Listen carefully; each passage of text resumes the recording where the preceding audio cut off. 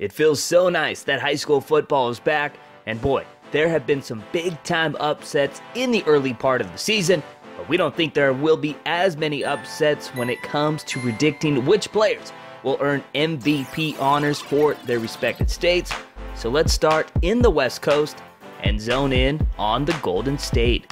Now, there's a ton of talent in California IA, and it was tough with this one, but Bishop Amat's Tyler Vaughns is the front runner here in 2015. The 2016 USC commit balled out for nearly 1,200 yards and 12 TDs as a junior, and the 6'3, 175 pound four star wide receiver checks in as the third rated wideout in the 2016 class and is the sixth rated player overall in the state according to 247's composite rankings. From California to Texas, we got another stud wide receiver in the house, that is Navasota's Tren'Davian Dickson. The 6 foot, 170 pound wideout had one of the best single seasons in high school football history last year.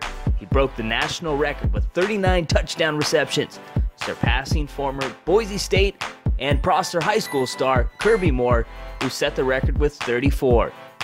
The 2016 Texas commit started off right where he left off in 2014. He hauled in nine grabs for a buck 26 and two scores in their season opening win. And the last state we're going to check out in this video is Florida. And just like California and Texas, it's very, very hard to pick one guy.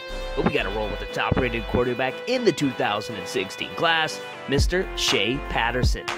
The IMG Academy star transferred from Calvary Baptist before his senior season, and the former Louisiana high school star helped lead them to back to back state championships.